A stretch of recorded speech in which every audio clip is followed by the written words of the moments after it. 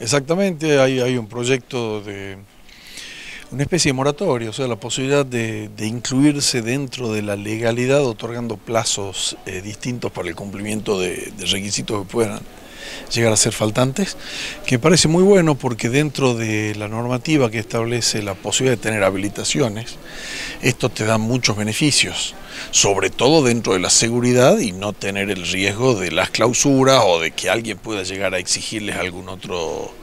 elemento, contribución, este, básicamente eh, estar dentro de la regularidad da garantía no solamente al comerciante, sino también al, consumidor. Bueno, en la reunión se trataba la posibilidad de ir simplificando eh, algunos elementos a fin de que los que tienen comercio estén en regla.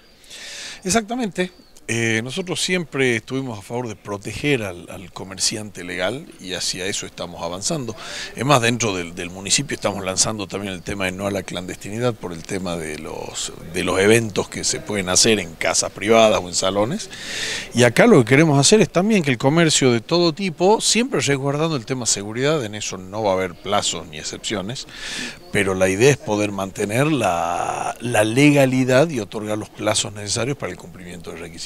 En este caso, analizando la posibilidad de simplificar lo que son los trámites de habilitaciones. Como bien se planteó en la mesa que tuvimos junto al resto de los concejales, la posibilidad, sobre todo en la Argentina de hoy, de eh, establecer un comercio, de dar fuentes de trabajo, debe ser apoyada con todas las áreas estatales. Y uno de los puntos que nos plantean desde la actividad comercial particularmente es lo engorroso que muchas veces resulta la habilitación comercial. Si bien hemos dictado ya normativas que simplifican este proceso, la idea es establecer una especie de moratoria que permita a todos los comercios que no están debidamente habilitados sumarse, conseguir la habilitación, esto permite muchísimas posibilidades más, incluso las de obtención de créditos y otros elementos que son fundamentales para el crecimiento de la actividad comercial. Así que en ese sentido estamos trabajando en este proyecto que esperemos que en las próximas sesiones pueda ver la luz. La idea es simplificar por excepción las eh, habilitaciones comerciales por un determinado plazo